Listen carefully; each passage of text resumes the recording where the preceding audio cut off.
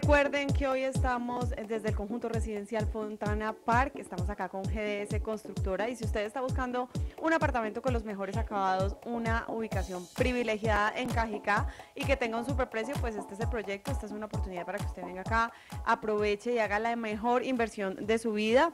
Los descuentos están de locura, no se los pueden perder, hay descuentos hasta de 30 millones de pesos, hay muchas facilidades de pago eh, para que todos los, los clientes puedan, por supuesto, estrenar apartamento con ellos. Además, les quiero contar que hay apartamentos desde 195 millones de pesos con los mejores acabados. Hay de dos, de tres alcobas, eh, con dos baños, con estudio, con balcón piso en madera laminada, con estufa, horno, campana, mesones de granito y parqueadero. Además que algo que tiene espectacular este conjunto es que tiene un edificio exclusivo para entretenimiento. Ahí van a encontrar diferentes áreas para toda la familia, para que tengan un momento de esparcimiento y por supuesto parqueadero de visitantes también súper importante, más de 40 parqueaderos de visitantes. Recuerden visitar el showroom en la carrera 14 entre calle Quinta y Sexta de Cajicá a dos cuadras de la vía Tabio. También pueden ver los proyectos a través de la página www.grupods.co o comunicarse al 313 396 4681 313 396 4681. Dos de la tarde, siete minutos, ya tenemos las dos, siete. En segundos estamos en Facebook Live porque tenemos unos hay unos invitadazos. Tenemos a la de lujo. terciopelados aquí y yo sé que ellos saben que vamos a empezar por el cuento del gramófono y el vestido del gramófono de Andrea. Solo en segunditos vamos muy rápido a actualizar las noticias. Este es el estreno. Están de estreno en la W, los aterciopelados. En segundos estamos en Facebook Live. Paula, ¿cómo van las marchas de FECO de los maestros?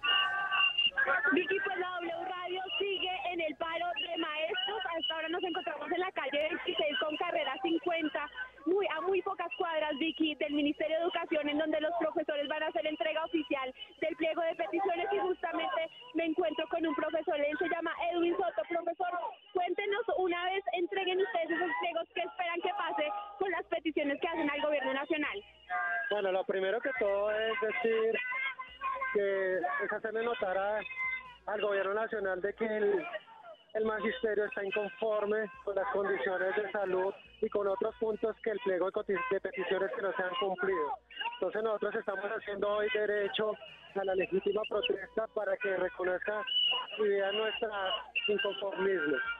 Les esperamos que el Ministerio, el Gobierno Nacional, se siente con nosotros y pueda poner estos puntos sobre la, sobre la mesa para favorecer al magisterio y a toda la educación pública. Bueno, profesor Edwin, muchas gracias, Vicky. Son aproximadamente 33 mil maestros que hacen parte del sindicato de SECOR. Mil gracias, Paula. Ya en segundos a terciopelados en la W.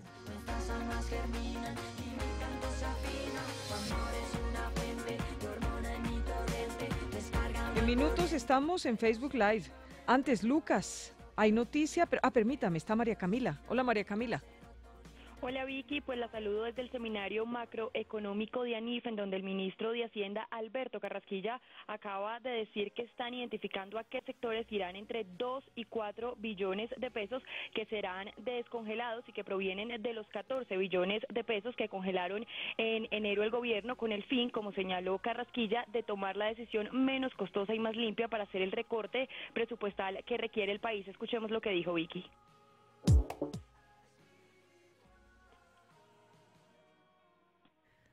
Mm, no alcanzamos a escuchar, María Camila. Déjeme ir con Diego Aguilar, que ya está listo. Vicky, pues la personería, y pese a que la personería le había eh, pedido a la administración de Enrique Peñalosa suspender o cancelar la temporada taurina en Bogotá, pues la administración eh, distrital aseguró que no se suspenderá y que las autoridades velarán por el cumplimiento de esto, básicamente ellos indican que no había un fundamento concreto que permitiera realizar esta suspensión eh, que había solicitado este ente de control. Así lo indicó Juan Miguel Durán, secretario de gobierno. Nosotros, dentro del informe final, que además es público, no encontramos ninguna anotación por parte de la personería o de parte de los animalistas eh, frente a un posible incumplimiento o, una presunta eh, eh, o un presunto incumplimiento de cualquiera de las obligaciones contractuales o de ley. Escuchemos un poquito de Aterciopelados, dos de la tarde, 11 minutos, para, para estar con ellos en Facebook Live. Bueno, ya nos podemos conectar, Juan David, estamos conectados y nos toca por norma de Facebook bajar la música, pero ustedes pueden disfrutar. Hoy estamos de estreno, los saludamos. Andrea, ¿qué hubo? ¿Qué hay? ¿Qué más? Saludemos, aquí estamos, vean, esta es su cámara. ¿Qué hay? ¿Qué más? Óigame, la última vez que supimos de usted fue hace como tres días. Tendencia por todas partes. Yo decía, ¿pero qué le pasó a Andrea? Me, me preocupé. Miré y la vi con este traje que ustedes pueden ver allí, vestida de gramófono, que la verdad a mí me parece que se ve divina. Ay, sí, a mí también me encanta. Mariquis, además, nunca en mi vida he sido tan famosa. ¿Cierto? Nunca, nunca. Creo que los que se ganaron el Grammy, o sea, Zoé, no los han ni mencionado. O sea, el vestido, el vestido, el vestido. Es también ¿Qué le prueba decían de que la vaina es muy superficial, ¿no? ¿Qué le decían allá, Andrea, cuando, cuando Pues la es que- vieron? Póngale ojo que yo incluso en los latinos a veces he pasado desapercibida porque me toca Shakira a un lado y Paulina Rubio al otro y a mí no me saca foto nadie. Luego, un latino así rarito como nosotros en los premios eh, Grammy gringos no somos nada. O sea, íbamos a pasar de agache No total. Entonces yo dije, no, voy a, voy a meterle cráneo y voy a hacer algo que llame la atención. Y como en el Grammy latino el gorrito tuvo tanto, Su detalle, claro. Hab- hablaron más del gorrito que del premio nuevamente. eh, Sí. Subrayo. Entonces ahora le metió el gramófono Entonces completo. yo dije, vámonos más profundo. Y claro, la, la chica que nos hace prensa dice, no, tal vez nos hagan tres entrevisticas aquí, el mexicano, el no sé qué, cuál bus, me pararon en todas, nos Por favor, dígame cómo fue cuando llegó usted allá y se metió por la alfombra roja. Pues digamos que un poco lo mismo que por las redes, ¿no? Hay quienes les encanta, se mueren de la risa y hay quienes se ponen furiosísimos. Entonces, pues uno todo. sí veía como las, como las miradas de los que estaban complacidos y los que estaban como, uy, pero, ¿Pero se ¿esto qué sentía fue?". rara o no? Pues un poquito, pero estoy acostumbrada. O sea, llevo miles de años siendo la rara. Entonces, ¿En ¿Y ese super diseño de dónde salió? de mi cabeza. Y de em, Paula Pérez, que es mi amiga, que estudió moda y que me ha hecho ropa toda la vida. Sí. Entonces yo le paso dibujos, le paso ideas y ella las materializa. Entre otras cosas, usted dice, dice algo que me llama la atención. Ahí venga, pero saludemos también a Héctor antes de seguir esta conversación. Es que Sí. estamos aquí. Héctor, también la- traes aquí su, su gorra. Héctor, ¿qué hubo? ¿Usted qué hacía? ¿Se tapaba así para que no lo relacionaran con el gramófono o usted estaba orgulloso con su compañera gramófono? No, orgulloso. Además que en lo del último momento Andrea estaba medio flaqueando, ¿no? En el, en el hotel me dijo, ay, ¿será que me quito las, las tetas?". Es que lo que pasa es que en mi casa, en mi casa fue la primera, la primera cosa, Prueba. entonces yo ya sabía, porque a mi hija de 16 le encanta. Mami, divino, qué maravilla. Y mi hijo de 10, mami, por favor, qué pena, no te pongas eso. Entonces yo ya sabía a qué iba. Y al final además se me ocurrió lo de las tetas así en, en contravía. En, Que eso en también- corneta, original, en corneta. Claro, mis dos Grammys en vez de tetas que no tengo. Entonces yo sabía que todo eso es chistoso, pero que la gente, pues hay mucha gente que le parece horrible. Dice como, ¿Y cómo así, ¿Qué es Héctor, que dice, se estaba echando para atrás? Sí, pues me estaba diciendo, ay, estaba ¿será, como, ay, ¿será que le quito las tetas? Las, las- la- y me voy así nomás. No, no, no, vámonos con toda. Con y toda, vamos con allá toda. con toda. Y usted llega Pero- y atraviesa la alfombra y que usted, es que estábamos en usted, Héctor. Sí. Llega, atraviesan la alfombra y usted con su gramófono y con sus cornetas al revés. O sea, ¿cómo fue esa vaina? No, realmente empezó a llamar mucho la atención, pero Todo yo los creo que de a manera mirar. positiva, de manera positiva, y empezaron como a decir, ay no, yo quiero entrevistar, de Sí, quiénes sí. son, de dónde vienen, por qué están así. Incluso por ahí alguien dijo Grammy Girl. sí, y en English ahí nos tocó ¿Cómo le desempolvar fue el con, con inglés. el inglés? Bien. Porque solo nos iban, insisto, a entrevistar tres mexicanos. De resto nadie quería saber nada de nosotros. Claro. Y al final dimos ahí lora y nos sacaron foto y salimos en toda parte. Quedaron sea, felices ustedes. Ganadores. Pues al comienzo no sabíamos un poco lo que estaba pasando y no nos imaginábamos la resonancia, pero después empezó a salir que CNN, que CBS, ¿Y qué les Hollywood preguntaban en la prensa internacional? ¿Qué les decían? Sí, nos preguntaban que qué onda. Y pues digamos que el- el- la idea original era que si no te lo ganabas, igual ahí lo tenías.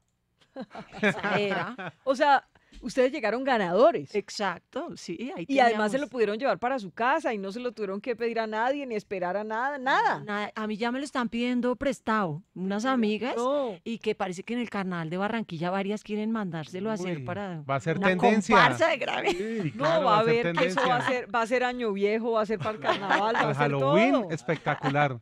Halloween, claro. ¿Y, Sí. y cómo era? La mesita era incómoda porque tenía como una basecita que era como, mire, ahí está, Eh, como una, no, como en la cintura. espuma. Ah, era espuma. Era espuma. Entonces, pues yo me lo quitaba y me lo ponía porque para sentarte no te puedes sentar con eso. Claro. Era como un cinturón voluminoso, digamos, por ponerlo de alguna manera. ¿Por qué la gente se fija tanto, Héctor, en la ropa de la otra gente?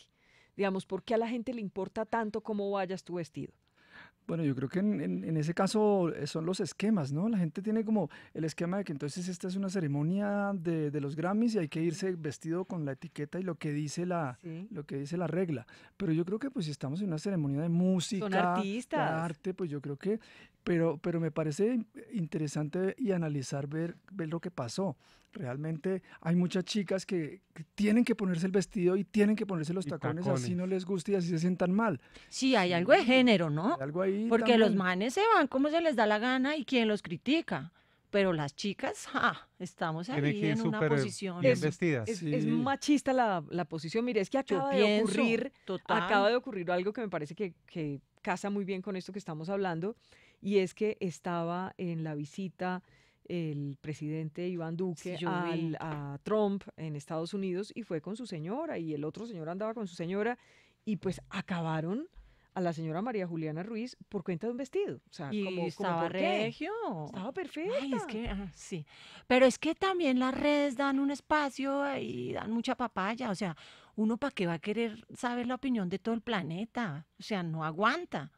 ¿Me explico? Y ahí se abre el espacio para que todo el Claro. planeta diga lo que se le dé la gana de ti, que no te conocen, no te están mirando a la cara. ¿Usted leyó los no hay trinos, por diplomacia, ejemplo? Pero un Paris, pues no. Usted chao, alcanzó- los alcanzó a ver y dijo, me largo de aquí. Me largo de aquí. Me largo. Pero no le ¿Cuál- gusta mirar todo lo que le escriben en las redes, los memes y todo eso que, que sacaron. No. No. Pero no, pues porque uno tiene su corazoncito. Y claro. pues no tengo pelos en la lengua, ya superé el que dirán, pero pues que haya una cantidad de personas además ofendidísimas por cómo dejé el nombre de Colombia en el extranjero. Sí, ¿qué hizo? Tienen huevo además. ¿Cierto? Ah, Porque es que, a ver, Héctor, ¿qué hicieron de malo? A ver, ¿qué que no salí con la teta forrada y el culo forrado. Eso es lo que les da piedra. O sea, es increíble. ¿Qué tal que yo trinara cada vez que me, que me sintiera ofendida? Precisamente por lo contrario. Ajá. por la que sale con todo forrado y vendiendo carnita. O sea, me la pasaría en ese vaino echando Usted se pestes. sintió súper chévere.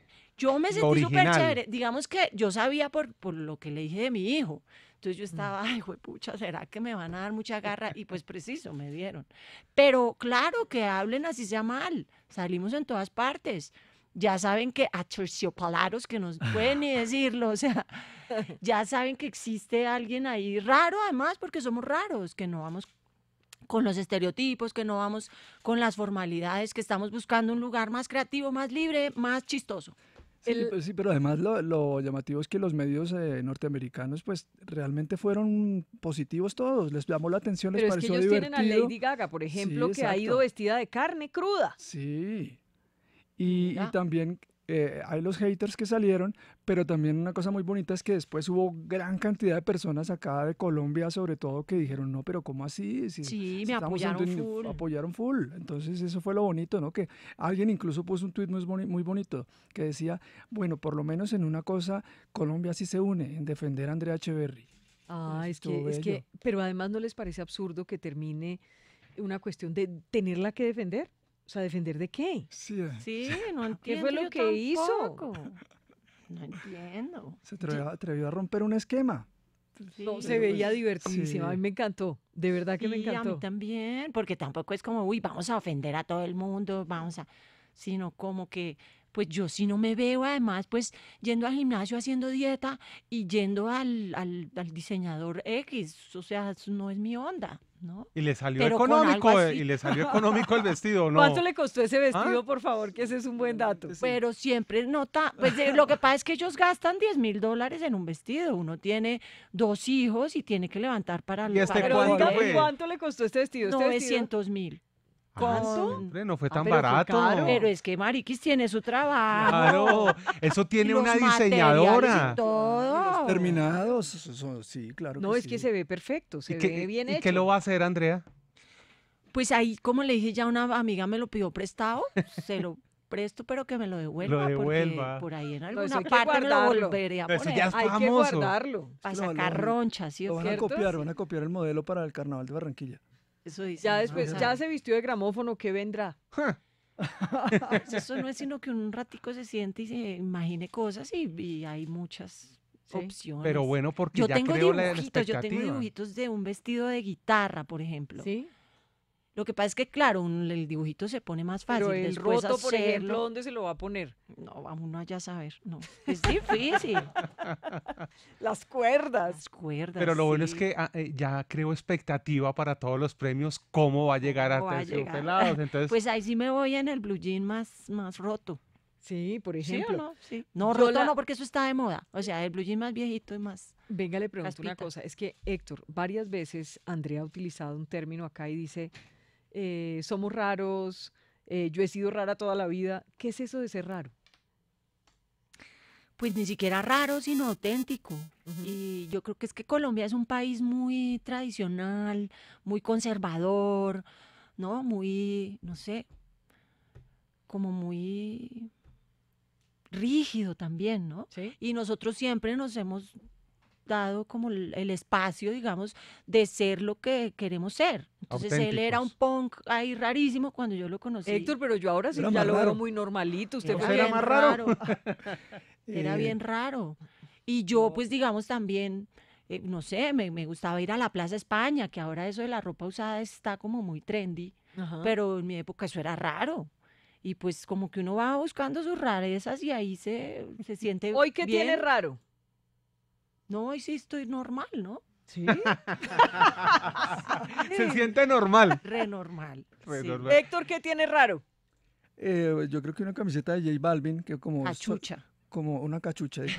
como somos rockeros, entonces también que porque tenemos camisetas de reggaetón. O, ¿Y si le gusta el reggaetón? Eh, sí, el- la música urbana sí me gusta, sí. El reggaetón viejo ese, ese no, así el que era Sexista. misógino, ¿Y machista. a Andrea sí le gusta el reggaetón? Pues no, pero a mi hijo le gusta. Entonces estoy como ahí y el otro día Amorfoda estaba chévere. Porque también ahí ponerse de, de viejo criticón y pues tampoco es la onda. Se siente Tampoco es la onda de admitir pues que, que con las mujeres limpien el piso, tampoco es la onda. Pero pues le toca a uno como un poquito escuchar más y decir, bueno, pero este, este no está despotricando, es chévere, qué sé yo. Ahí estoy. se no me emociona Se siente, usted dijo vieja. ¿Se siente vieja? ¿No? ¿Cuál vieja? Sí, Mariquis, hay una canción divina acá que se llama Vieja. porque no la ver. ¿cómo dice? Pero Cánteme un acá ponen pedacito. pi cuando uno dice groserías. No, Ah, no. ok. Pero es que, uy, es toda dramática, es súper bonita. Hágale un pedacito. Dice, puta mierda, me estoy volviendo vieja. Mis manos diestras que han escrito conjuros, dibujado velas en lo oscuro, que te han tocado, están con ganas de quedarse quietas. Uy, Esa es súper dramática, es bonita. Pero mucho. Sí. ¿La letra es suya? Sí, Chévere. Oiga, ¿cómo pasan ustedes un día? ¿Qué? ¿Cantando todo el día? Ensayando, ensayamos mucho. ¿Sí? Sí, ensayamos acá- por aquí en Chapinero, entonces ahí se nos va casi toda la mañana, pues salimos a las 2 y ya después en las, en las casas con las familias, cada uno.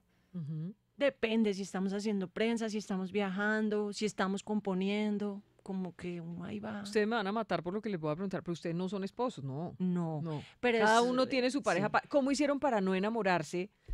¿Cuántos llevan juntos? Yo no sé, yo siempre pensé que eran esposos. Claro, No sé, todo el fueron. mundo Mucha gente, mucha gente. Todavía. Es que fuimos, Pero fuimos. claro, estuvieron ¿Fueron? mucho tiempo, Fuimos sí. novios como un año, Un año antes de como en el, Aterciopelados. en el 90. Ah, no diga. Pero la gente se quedó ahí y todo el mundo todavía. Yo me acuerdo cuando yo tuve mi hijo, le- mis hijos era el lo papá. felicitaban, sí, todavía. Felicitaciones. Ay, venga, cantemos Todavía unas cositas rápidas, aprovechemos, nos quedan dos minuticos. Hagámosle. A ver qué. Ay, a mí me gusta ese tumbao porque es como, como defendiendo el tumbao Hágale, de pues. uno ahora que están todos Tumbao. criticones. Eh, esa dice, y aunque no sea la que más bonito canta, no me voy a callar. Y aunque no sea la más sensual ni la que mejor baila, no voy a quedarme quieta. Ni que, uy, me fui muy bajito. Pero ahí dice, ni que todo tuviera que ser fuera de serie, impecables, polichados, todos guapos y afinados, ni que todo tuviera que ser gourmet, muy mío es lo que vengo a ofrecer. Pero esa está rara, ¿qué otra le canto? Ay, no, cánteme de las viejas, de las viejas, la cunátana, las baracunátana, viejas. ¿cómo era? ¿Cómo era? Ah, ya, esa le da una mamera. Bueno, hágale pues Sí, porque acá. además ponen lo del Grammy y dicen que no necesito tu aprobación de por allá de la pipa de la paz. Ya, o sea, se nota que no no. han oído esto. Hágale, Oigan, hágale no entonces otro pedacito de otra. Eh, espérese, Mire, ya la vi, ya la, ya veo que sí se le sale la canción ver. esa de vieja. Amores. Tu amor es, La veo sí. así con ya con el, ¿cómo es que se llama eso? Eh, algo vaginal. ¿no? ¡Oh! ¿No ha visto que ese es el chiste que hacen? Pero ¿cómo es que se llama? Enfoque vaginal. No, pero tiene presbicia, mi Ah, esposo eso. es oftalmólogo y me va a matar que yo no sepa. Hágale a la Eh, a presbicia, a ver, ver. Ah, no, esta. Despierta, mujer, suena el wake up call, sal de la matrix, siente tu matriz, a sembrar maíz, te llama el país y amarte a ti, recuerda tu rol. Ay, qué está buena. bueno, me encanta. Y algo de tu amor es. Tu amor es, tu amor es la energía que me enraiza, ordena la confusión, mi norte en el laberinto. Tu amor es la llave que abre los reinos, la ruta a la libertad, real escalera al cielo. Bueno. Héctor, gracias por estar con nosotros. Nos toca irnos a la pausa, pero me encanta haberlos tenido acá. Un día vienen, hombre, más temprano. Bueno, bueno, claro que sí. ¿Listo? Muchas gracias. Ahí Sí, la de- muchas lo dejo con su gramófono. Andrea, gracias. A su merced. ¿Qué le dice a la esposa del presidente que también la criticaron por el traje? A mí sí me gustó. Pero dígale a ella algo. a ella. Estabas chévere, estabas regia. Em, ay, no sé. Pero es también como encontrar lo que es, lo que es cómodo para uno, ¿no? Que fresca, ¿sí o no? Sí, que Que se fresca. veía linda y que lo importante es que uno se Así sienta es. bien. Sí, estaba chévere. Y que la gente aquí en este país vive diciendo que no maltrato a las mujeres, no sé qué, eso es pura paja. ¿no? O sea, el machismo. eh, Lo peor es que me dice mi hija que ahora las jóvenes dicen Mm. que para qué el feminismo. O sea, ¿para qué el feminismo es un chiste? ¿Hace cuánto no votábamos? Lo que pasa es que, claro, como nacieron y aquí todo parece igualdad, no que no igualdad. es, ¿no? Es paja, o sea. Tenemos que hacer un programa un día de eso. Absoluto. ¿Vuelve? Sí. Listo, de una. Listo.